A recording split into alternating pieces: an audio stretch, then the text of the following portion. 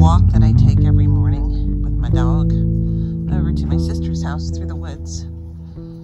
Some days it's so hot, but today, after the rain, it's cool and luscious.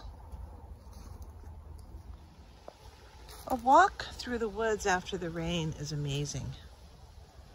Everything looks so green and so incredibly vibrant.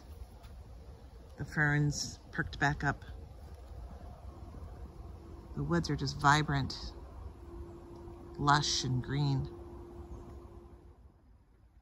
Even here in the wood, there's some little wildflowers. And oh, look at this. Wild blackberries. Amazing things you see on walks. This is the coolest mushroom. It looks like a little terraced apartment dwelling on the edge of the sea with a tree growing out of the middle of it. If you see a lot of trees down, that's because of the pine bark beetle that has just decimated the pine trees, some of the pine trees here. This is a huge one that uprooted. There's really nothing you can do.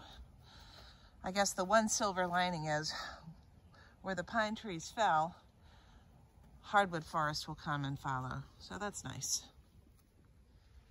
Oh, Otis is off on a little frolic somewhere in the woods. it feels good for him today because he's getting older and the heat gets to him too.